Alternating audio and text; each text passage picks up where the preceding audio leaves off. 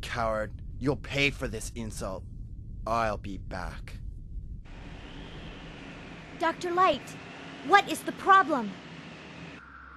A strange meteor has fallen to Earth just a while ago. This meteor seems to be emitting a powerful energy signature. Something this powerful must not fall into the hands of evil.